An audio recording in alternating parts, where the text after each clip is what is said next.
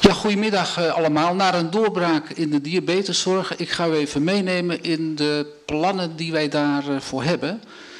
En uh, wij, dat is al net al even gezegd wie dat zijn. Oh, en ik zeg even vooraf, de belangenverstrengeling, die hebben wij niet. Daar ga ik ook niet verder op in. Um, mijn naam is, uh, dat is net al even gezegd, Peter Gunst. Ik werk eigenlijk voor complexe samenwerkingsproblemen in zorg en veiligheid.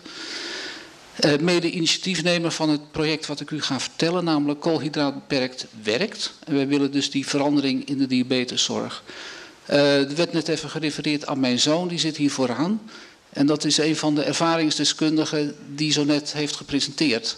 Misschien wel goed om die link even te leggen, want wat ik zelf heel treffend vond bij de ervaringsdeskundigen, dat ze allemaal tegen de huidige zorg aanliepen. En dat ze daar eigenlijk onvoldoende in gesteund worden. Dat vond ik opmerkelijk bij alle drie. En daarmee kan ik precies illustreren wat de bedoeling van ons project is, van onze aanpak. Dat is namelijk om een brug te slaan tussen wat hier mogelijk wordt gemaakt, zoals door Hanno is uitgelegd, onder andere met, met de diabetes. Die kan veel, veel beter. En die brug die willen wij gaan slaan naar de praktijk. Onze presentatie zal dat toelichten. Um, dit is misschien een wat andere presentatie dan u gewend bent uh, hier, omdat wij gaan u uitnodigen straks om met ons samen te werken. Um, ik zeg u alvast bij, wij kunnen dit niet alleen, wij kunnen niet met z'n tweeën of z'n vijven de diabeteszorg veranderen. Dat gaat alleen in samenwerking met u. Um, wat willen wij? Wij willen naar een oorzaakgerichte aanpak van de diabetes eh, type 2. We willen overigens ook type 1 gaan doen enzovoort, maar we hebben gezegd eerst maar even concentreren op type 2. We noemen dat triple 1, beter ervaren zorg door de patiënt, betere gezondheid, objectieve factoren zoals uh, gewichtsafname, uh, van, van de uh, medicatie af, betere HbA1c's en ook minder kosten. Kostenplaatje is nog wel een apart punt, daar ga ik zo meteen apart in, want wij verspillen hier miljoenen en miljoenen in Nederland aan medicatie die overbodig is. Ik durf te stellen die mensen zieker maakt. En dat zullen we straks ook nog toelichten. Eigenlijk zei Hanno Peil dat ook al. En uh, wij willen daar een omkering uh, in maken. Deze zorg, die zou voor iedere patiënt wat ons betreft toegankelijk moeten zijn, beschikbaar moeten zijn bij de eigen behandelaren. Niet dat mensen zelf moeten gaan zoeken van hoe ga ik nou precies mijn medicatie afbouwen in combinatie met koolhydraatbeperking. Nee, dat moet gewoon in de normale reguliere ketenzorg beschikbaar zijn en ook gefinancierd worden. Dat is ons streven. Um, dat zal nog niet makkelijk zijn, denken wij. Dus vandaar dat wij die samenwerking zoeken waar ik het net over had. Um, wat gaan we doen de komende 30 minuten? U ziet zo eerst Kees-Jan Sluiters uh, met een uh, toelichting. Dan gaat Harriet die gaat dat verder uitwerken eigenlijk, van wat betekent dat dan? En dan zal ik uh, tot slot eindigen en iets zeggen over het programma wat we hebben ontwikkeld en iets zeggen over wat dat betekent qua besparing, financiering en de aangekondigde samenwerking. En dan hoop ik dat ik handig genoeg ben in de knoppen te bedienen om naar het filmpje te gaan. Uh, even kijken. Dat zit hier. Uh, en hier komt onze Jan Kees. Wacht uh, sorry, Kees Jan. Ja. Mijn naam is Kees-Jan Sluiters. Ik ben een van de initiatiefnemers van Koolhydraat Beperkt Werkt, een huisarts in Leusden. In Nederland hebben ruim 1,2 miljoen mensen diabetes mellitus, suikerziekte. En daar komen ieder jaar meer dan 60.000 nieuwe patiënten bij. Diabetes is zeker op de, op de lange termijn een ernstige ziekte met complicaties in de vorm van hart- en vaatziekten, hartinfarcten, herseninfarcten, blindheid, nierfunctieproblemen en amputaties. Het is een uh, stofwisselingsziekte die gekenmerkt wordt door een te grote hoeveelheid uh, suiker, glucose in het bloed. Die uh, bloedglucosespiegel die wordt geregeld door een samenspel van diverse hormonen, waarvan insuline eigenlijk de meest bekende is. Ruim een miljoen van alle diabetespatiënten heeft diabetes mellitus type 2. Dit is de variant van diabetes ehm, waarbij er soms iets mis is in de aanmaak van insuline. Maar het leeuwendeel van deze mensen heeft juist te veel insuline in het bloed. Maar dit werkt niet goed meer. Deze mensen zijn insulineongevoelig, insulineresistent geworden. Een gemiddelde Nederlander haalt bijna de helft van zijn energie uit uh, koolhydraten. Om dit te verwerken is erg veel insuline nodig. Soms zoveel dat het lichaam niet meer goed luistert naar dit hormoon en men insulineresistent wordt, waardoor diabetes mellitus kan ontstaan. Het initiatief eh, Koolhydraat Beperkt Werkt richt zich in eerste instantie op de mensen met insulineresistentie, eh, soms ook wel overgewichtsdiabetes genoemd. In plaats van deze mensen steeds meer medicatie te geven in de vorm van tabletten en insuline-injecties, welke gericht zijn op het verhogen van de hoeveelheid insuline en daarmee het verlagen van de bloedglucose, proberen wij ons te richten op de oorzaak van deze vorm van suikerziekte, namelijk de insulineresistentie. Er is inmiddels heel veel bewijs waaruit blijkt dat koolhydraatbeperking insulinegevoeligheid verbetert en daardoor de medicatiebehoefte kleiner maakt. We gaan dus van symptoombestrijding naar een aanpak van de oorzaak. Onze verre voorouders waren jager-verzamelaars. Zonder dat ze het wisten hadden ze een koolhydraatbeperkt dieet en deden aan intermitterend vasten, eh, krachttraining en duursport. Allemaal zaken waarvan we nu weten dat het de insulinegevoeligheid verbetert. Als gevolg van deze leefstijl verbranden ze een groot deel van hun leven vet als brandstof in plaats van glucose. Insulineresistentie bestond eigenlijk niet en alleen wanneer dat nodig was, bijvoorbeeld tijdens de zwangerschap. Van deze fenomenen maakt het project Koolhydraatbeperkt Werk Diabetes gebruik. We doen dit door hetgeen onze verre voorouders van nature al deden op te nemen in de landelijke diabetesketenzorg. Zo wordt onze aanpak voor iedere Nederlandse diabetes in de nabije toekomst mogelijk en hoeft diabetes mellitus type 2 geen progressieve ziekte meer te zijn. Ik wens jullie een mooi congres. Graag nu de aandacht voor Peter Gunst en Harriet Verkoelen, die dit nu verder live gaan toelichten. Harriet, begin maar. Goedemiddag, ik ben Harriet Verkoelen. Dat hadden jullie al uh, begrepen. Ik ben ook een van de uh, initiatiefnemers van KHBW, samen met Peter Gunst, Kees-Jan Sluiters en nog twee anderen. Um, dit, oh, dit, is mijn disclosure. Ik heb verder geen uh, belangenverstrengeling. Um, ik heb 25 jaar ervaring in de diabeteszorg, zowel als diëtist als diabetesverpleegkundige. En ik heb gezien hoe het juist fout gaat. Nou, dat is allemaal al besproken. En gaandeweg ben ik begonnen om daar een andere visie op te ontwikkelen en een oplossing voor te zoeken. Um, ik heb een eigen diëtistenpraktijk. Uh, ik doe ook online begeleiding voor overgewicht en uh, diabetes via mijn website. Ik heb boeken geschreven en ik geef al drie jaar scholingen aan diëtisten en praktijkondersteuners. In mijn praktijk uh, ja, is al gezegd, wordt 80% van de type 2 diabetes insulinevrij. Dus dat is wel, ik daag artsen wel eens uit om uh, hun percentages te laten zien. Um, ik ben daartoe gekomen omdat ik in mijn werk als diabetesverpleegkundige zag dat er een groot verschil was tussen de theorie, de wetenschappelijke onderzoeken, en in de praktijk. Ik herkende het gewoon niet. Veel uh, kijk, natuurlijk heb je wel mensen die veel eten, maar je hebt ook zeker mensen die echt iets aan hun gezondheid willen doen. Ze voelen zich niet goed, dus ze eten mager, ze doen wat de diëtist hun verteld heeft en het afvallen lukt helemaal niet. En wat ik zag was dat steeds meer mensen met type 2 diabetes ook steeds meer medicatie nodig hadden. Uh, verder uh, de complicaties voorkomen, dat lukte slecht. Terwijl wij ze aan het behandelen waren, zag je ze eigenlijk alleen maar slechter worden, zwaarder worden. En alleen maar futlozer. Ik weet niet of jullie uh, wel eens herkennen, maar moe, niet lekker in je vel en gewoon ja, geen fijn gevoel. Dus al met al was blijkbaar onze behandeling niet goed. Het gekke was daarbij ook nog, wat mij opviel, is dat als iemand met type 2 diabetes een keer zijn avondinsuline vergeet te spuiten.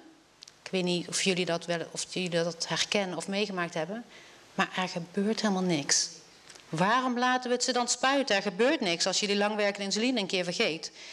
Um, en als praktijkondersteuner of diabetesverpleegkundige, toen ik nog wel bezig was met mensen op insuline in te stellen, wat je zag is dat ze telkens twee, drie dagen mooie bloedsuikers hadden en hup, suikers weer te hoog. Je moest de insuline verhogen. Twee, drie dagen mooie bloedsuikers en weer te hoge suikers. Het einde was eigenlijk zoek. Dus ze werden steeds zwaarder. Het, iedereen die insuline moet gaan spuiten, type 2 mensen, ze zijn al zwaar en ze worden nog zwaarder. En uh, wat ik al zei, een toenemend uh, vervelend gevoel. Dus ik ging op onderzoek uit en ik kwam de termen tegen als insulineresistentie, insulineongevoeligheid. Terwijl daarvoor alleen maar de term ouderdomsdiabetes bekend was.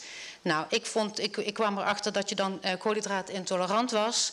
Uh, wat, wat, voorkomt bij syndroom X, metabol syndroom, cardiometabol syndroom. En wat ik de patiënten altijd uitleg is, de sleutelgaten zitten dicht. En daardoor worden er steeds meer sleutels gemaakt. Um, dit is een plaatje uit mijn uh, uh, boeken. Om mensen uit te leggen hoe het normaal gesproken zou moeten gaan als je koolhydraten eet. Dat, koolhydraten zijn dan zetmeel, vruchtensuiker, melksuiker en kristalsuiker. Want veel patiënten worden wel doodgegooid met het woord koolhydraten, maar weten soms toch niet helemaal goed waar we het over hebben eigenlijk. Dus dit is een plaatje, dit leg ik uit wat, wat het eigenlijk is. En dit is een heel oud plaatje van Novo, wat ik, uitleg, wat ik gebruik om uit te leggen wat insulineresistentie is. Hanne Pel zei vanochtend, ouderdomsdiabetes mag je eigenlijk niet meer zo noemen, want het is, uh, uh, diabetes type 2 is anders. De echte ouderdomsdiabetes komt nog wel voor, maar is heel weinig. Dat zijn mensen die echt over de 70 jaar diabetes krijgen, die geen probleem hebben met het gewicht. Daar kan door ouderdom wat beta-celfunctieverlies zijn, zeg maar. Um, maar dat is iets heel anders, dus dat is zeg maar bij de verminderde afgifte. Maar de echte insulineresistentie, dat is iets heel anders. Daar is geen insuline tekort. Daar is een insuline te veel. En dat noem ik overgewicht diabetes. Dus ik maak bij type 2 diabetes een onderscheid tussen ouderdoms- en overgewicht diabetes. En dat ouderdomsdiabetes is dan wel echt daadwerkelijk een insuline tekort. Maar overgewicht diabetes is eerder een insuline te veel.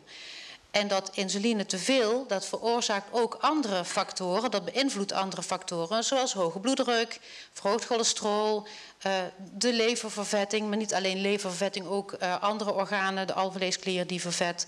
En dat maakt allemaal samen risicofactoren voor hart- en vaatziekten. Jullie zullen het wel uh, herkennen. Um, insuline is een anabool hormoon. Denk maar aan anabole steroïden. Dit is geen steroïd, maar het is wel een hormoon wat laat groeien. Het zet suiker om in lichaamsvet. En dat vind ik altijd zo grappig, want diëtisten leren als je moet afvallen minder vet te eten. Maar het lichaamsvet ontstaat uit suiker, wat het lichaam omzet in vet. Dus het komt niet uit het vet van de voeding, zeg maar. Dus de anabole stofwisseling, dat is suikerverbranding. En dat is bij een hoge insulinespiegel heb je alleen maar uh, suikerverbranding, daar val je niet van af. Dus je moet dat omkeren, want je wil, als je iets aan die insulineresistentie wil doen, dan moet je juist wel afvallen. En dat kan dus niet op suikerverbranding. Nou, hoe dan wel? Vetarm, mager eten, dat helpt in ieder geval niet, want dan ga je altijd meer koolhydraten eten. En als je insulineresistent bent, dan krijg je bijwerkingen van koolhydraten. Bijwerkingen van koolhydraten door een opgeblazen gevoel. Veel mensen, ik, ik hoor dat zo vaak. Uh, als mensen uh, één keer zijn geweest en ze komen op controle, dan is het eerst, eerste wat ik hoor, mijn opgeblazen gevoel is weg. En wat ook heel snel verdwijnt, is een hongergevoel.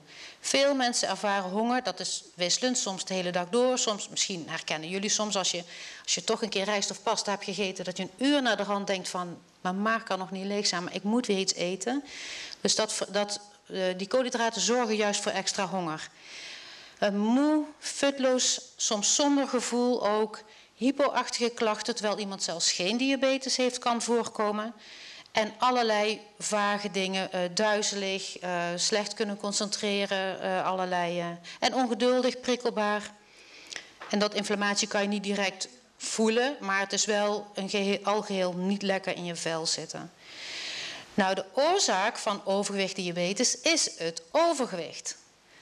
Um, het symptoom van overgewicht diabetes is verhoogde bloedsuikers.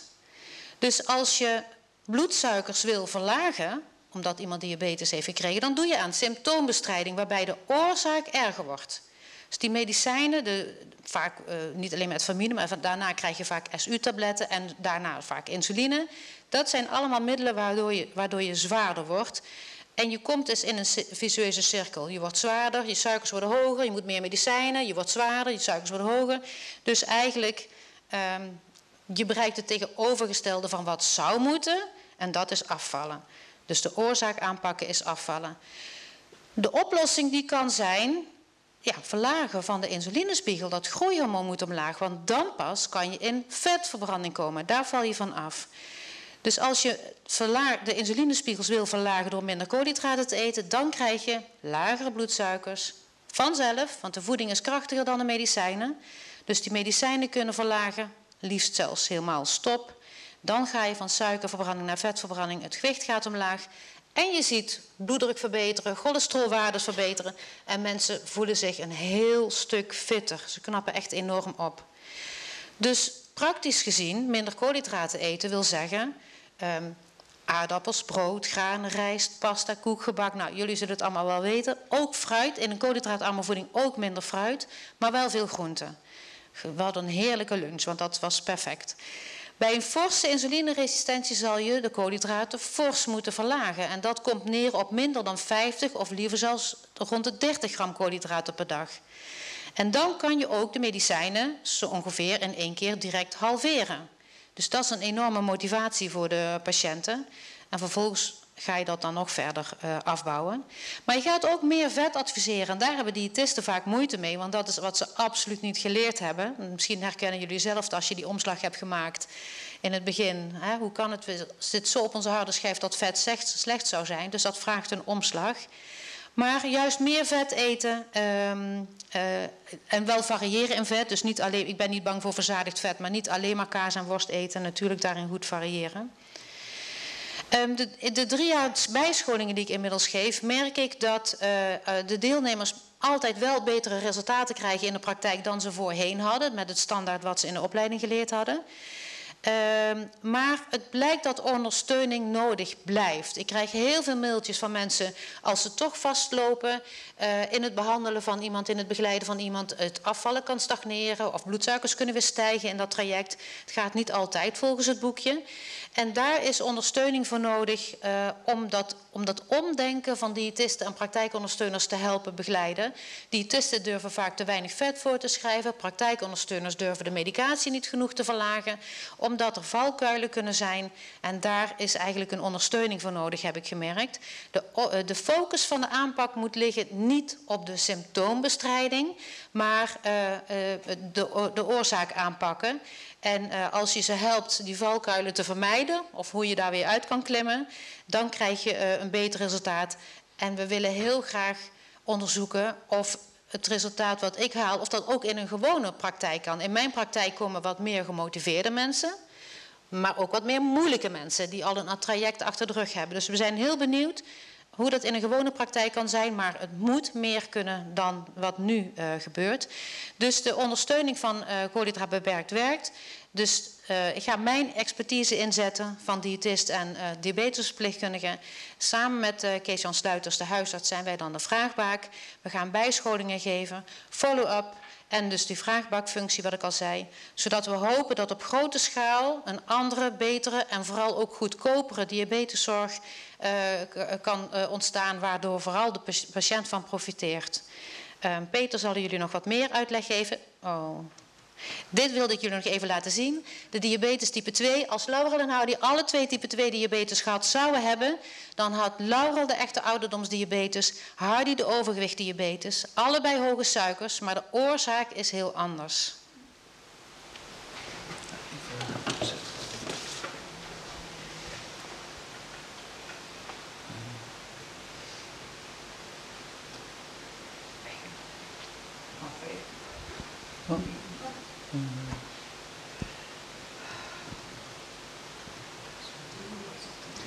Oké.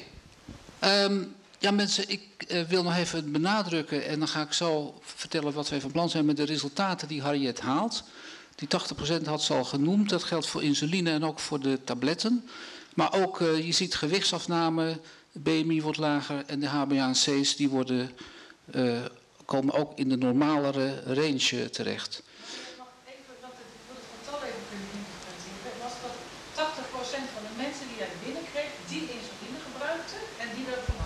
Ja. Of had jij maar 20% van je populatie op...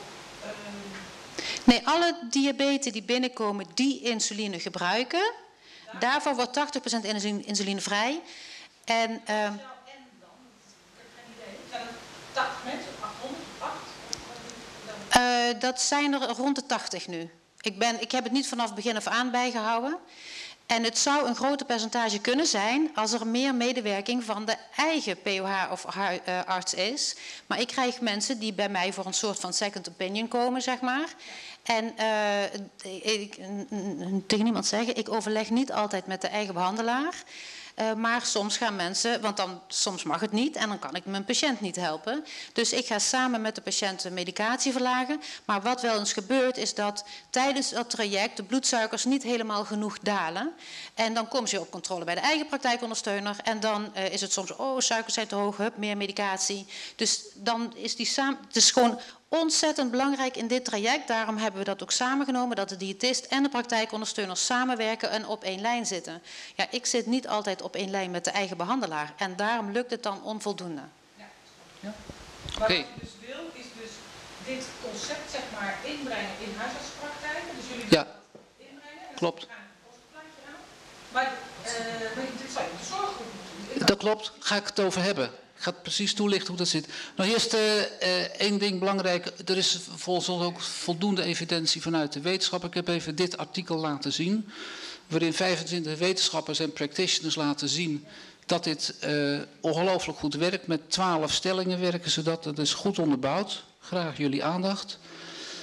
Um, dan wil ik, en dat is ook voor ons wel een voorbeeld, even noemen David Unwin, dat is een Engelse huisarts en die is gewoon begonnen. En zoals Harriet ook gewoon begonnen is om dit te doen en deze resultaten haalt. Volgende week begint Kees-Jan Sluiters in zijn praktijk dit gewoon toe te passen op alle diabetespatiënten die hiervoor openstaan. En we gaan gewoon testen of de resultaten die we kunnen halen potentieel ook daadwerkelijk daar in die populatie kunnen halen. Dit is David Unwin, die haalt geweldige resultaten, die man in Engeland. Gewoon een pionier die aan de slag is gegaan. Dit zijn enkele van zijn resultaten die hij heeft laten zien. U ziet ook gewichtsafname, bloeddruk is omlaag, nierfunctie is goed, HbA1c gaat, van de, uh, gaat onder de kritische grens van uh, de 53. Uh, cholesterolwaarden zijn ook goed. Dus dat zijn gewoon, dit is al in zoveel onderzoeken eigenlijk aangetoond dat laag koolhydraten leidt tot dit type resultaten. Ik ga ook verklappen dat de resultaten van Harriet nog net een fractie beter zijn dan David Unwin. Ook leuk om te weten. Dan komen we even op uh, kostenplaatje, zal ik straks nog wel verder bij stilstaan. Maar wat je ook ziet is dat hij haalt gewoon de minste uh, gebruik van diabetesgeneesmiddelen in zijn regio van alle huisartsenpraktijken. En dat is ook wat wij ook gaan nastreven. Overigens staat hier ook in dat hij een geweldig bedrag bespaart. Ik heb daar wat vraagtekens bij, want hij zegt dat hij iets van 45.000 Engelse pond bespaart op uh, medicatie van diabetes uh, patiënten. Dat vind ik, vond ik wat onwaarschijnlijk hoog, eh, eerlijk gezegd. Um, maar toch, die besparingen die zijn er.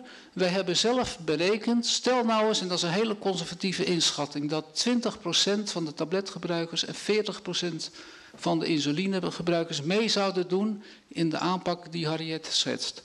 Wat zien we dan als we dat op nationale schaal zouden doen, dat we 70 miljoen kunnen besparen? En u weet, het is een conservatieve schatting. En dat is per jaar. Dus ieder jaar komt die besparing terug. Nou, als je die getallen iets ophoogt, want als je dit een paar jaar doet, dan zul je zien dat dat niet 20% is, maar 20 gaat naar 30%, naar 40% enzovoort. Dus dat, dat gaat doorstijgen. En dan moet u weten dat eigenlijk van de totale kosten van een diabetespatiënt is de diabetesgeneesmiddelen, dat is maar een heel klein onderdeel. De grootste kosten liggen bij complicaties en ziekenhuisopnames. Dus het ligt vele malen hoger. Dus de besparing die ik hier noem van 70 miljoen, die kun je zo keer een factor 10 bij wijze van spreken doen, wat er potentieel te besparen valt. Dus we zijn eigenlijk gek als we dit niet doen wat mij betreft. Het betekent nogmaals gezondheidswinst en besparingen en betere service voor de patiënt. Maar er ligt een probleem. En dat wordt in de literatuur genoemd een wrong pocket problem. Wat gebeurt er namelijk? Wellicht zijn er hier een aantal huisartsen of diëtisten in de zaal. En vooral voor huisartsen geldt het. En Hanno zei het vanmorgen ook al. Je moet dat in die 10 of 20 minuten die je hebt, moet je dan je verhaal kwijt. En deze omschakeling vergt waarschijnlijk iets meer tijd. De eerste drie maanden vooral. Want de drie maanden zet jij mensen om, zo gemiddeld gesproken. De eerste drie maanden vergt het iets meer tijd. Daarna ga je wel inverdienen. Want wij zeggen dan als iemand eenmaal goed is ingeregeld, dan hoef je niet meer die vier controles per jaar te doen. Dan kan misschien wel gemiddeld gesproken naar twee terug.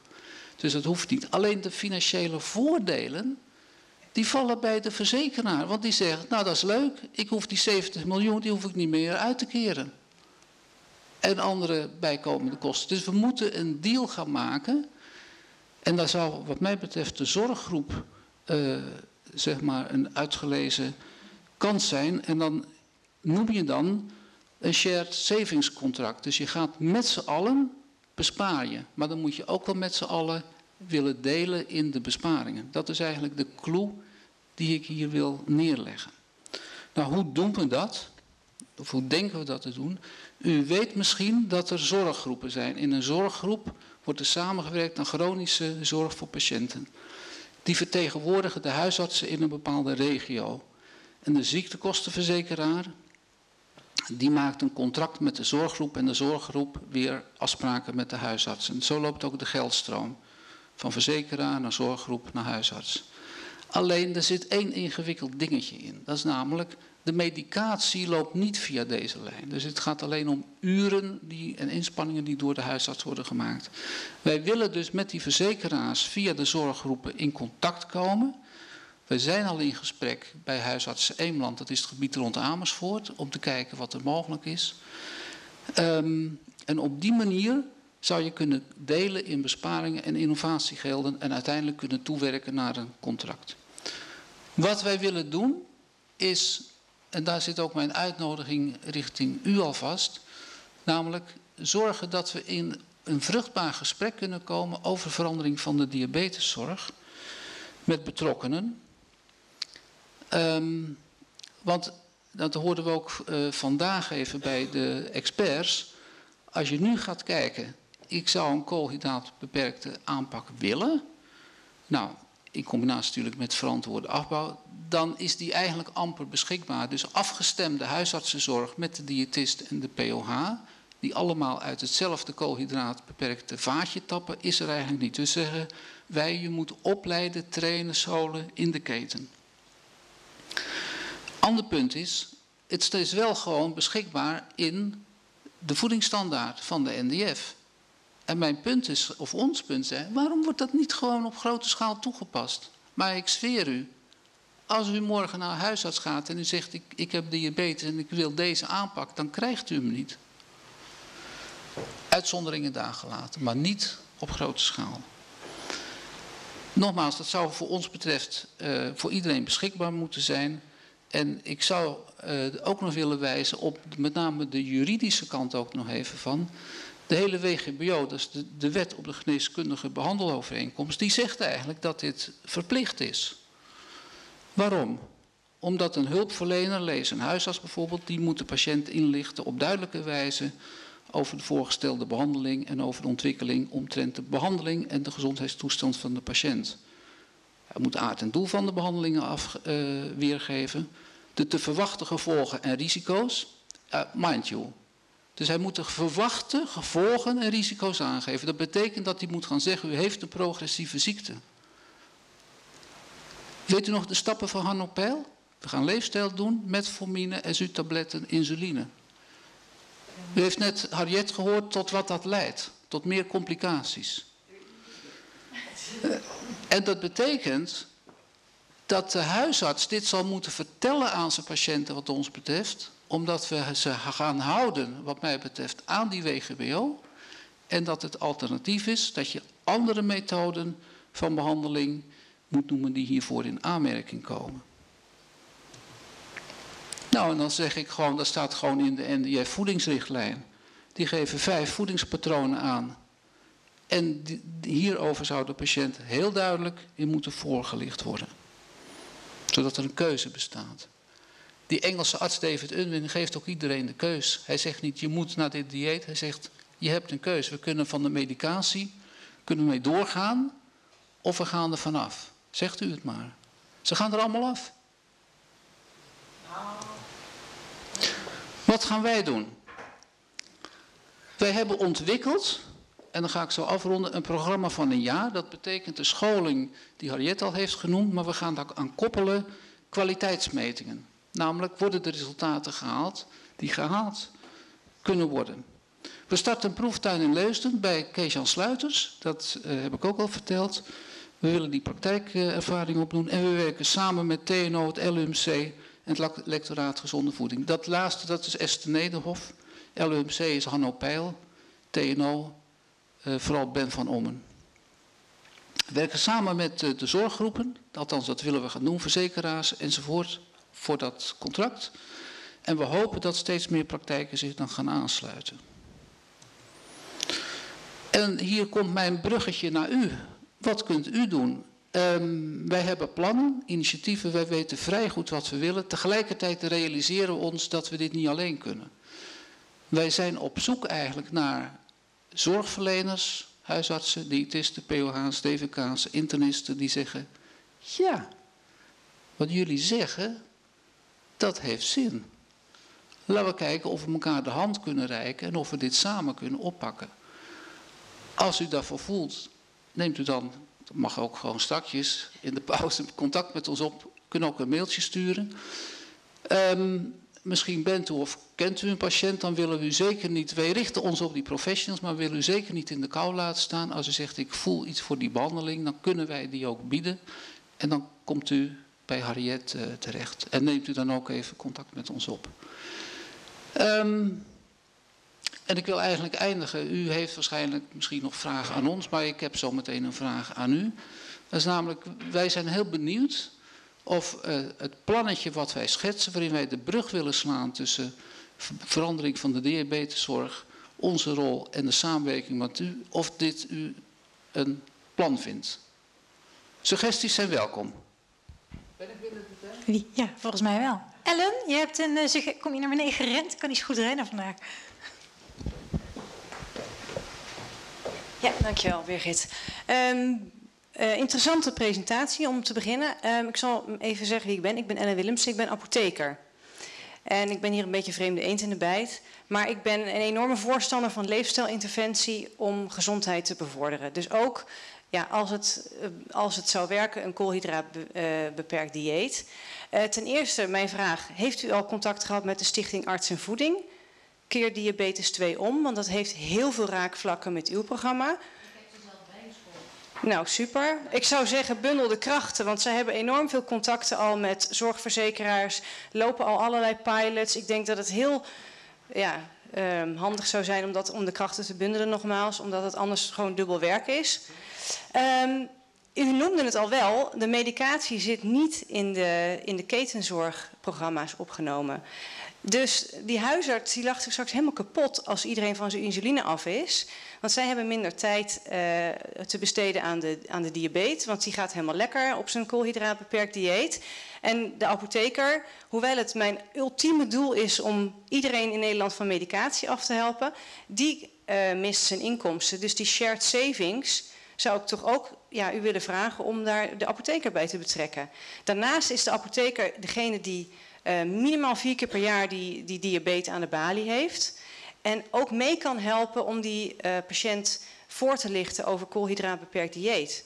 Wij, hebben, wij zien die mensen gewoon echt heel veel. We hebben een goede band met ze. En het zou toch zonde zijn om die kans te laten lopen. Om ook niet die uh, ja, um, laagdrempelige eerste lijn zorgverlener um, in te zetten in, uh, in dit hele um, ambitieuze project.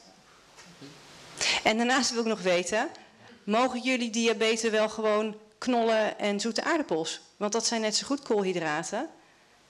En dus is het niet low carb, maar meer low slow carb. Of low fast carb bedoel ik.